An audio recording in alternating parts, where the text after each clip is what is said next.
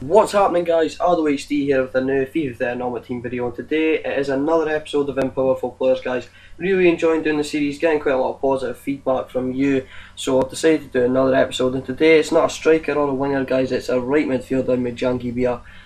Moved from Standard Liège in the transfer window to Watford. He is a class player in real life, guys, and a really good player on this game. I mean, you can see I've put up his best attributes I felt on uh, the screen. His skill moves, he's a four-star skiller. His skill moves are so smooth, guys. His Ronaldo chops are insane. His shot power is really good, 78, 82 acceleration, 83 balance, and 62 finishing. He's only got 62 finishing. That's real. That's quite remarkable. I mean, I thought his finishing was really good. He's really composed when he gets in behind on goal.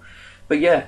His attributes were good, guys. I mean, you can see on his card he has got quite decent attributes for his silver 68 overall. You'll see in game, you'll really see his shot power, acceleration, balance, and finishing shine through, as well as his 4 star skill moves. But yeah, his price, he's 500 coins to 1k on every console, guys. He's well worth the money. He is a monster. You, know, you can play him right mid. I think he's just effective at right mid. Uh, as he is at right wing, you know, I think he's good in both positions because obviously at right midfield you looked at him for more sort of defensive work, helping at the full back, whipping in crosses. But as a right winger, you'd expect him to score goals, and he does both of them, guys. His crossing's really good. Uh, didn't really put that as a standard attribute, you know, because I think that is a he's better as a right winger, but his crossing is still very good. You'll see in the clips that he does have quite a few decent crosses for me. But anyway, guys, that pretty much sums up Mujangi Bia. I will move on to the game gameplay, the gameplay, and I'll show you some of the goals uh, and some of the nice bit of play that I had with him. So here guys, Mujangi Bia couple of feints there, you know, gets away from his. I don't know how he gets the shot here, but he does it in the bottom, on his weak foot guys.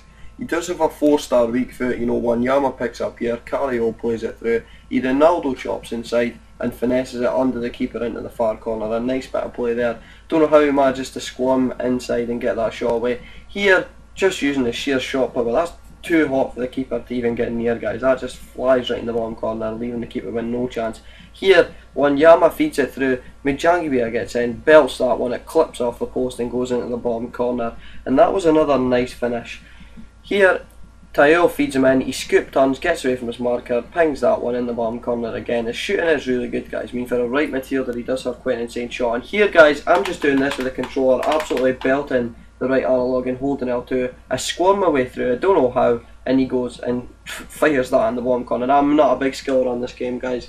I don't tend to do much skill because I can't really do it, but there I just went for it, held L2 button and mastered the analog. Here, that's a great cross guys. That is in that little zone, the corner of uncertainty where the keeper can't get near it and the defender can't touch it or it will go off him, deflect it and probably go in for an own. But that brings up this episode guys. I do hope you've enjoyed it. I mean, I've been getting quite a lot of positive feedback about this little series recently and I am doing my utmost best to try and get as much videos up as I can.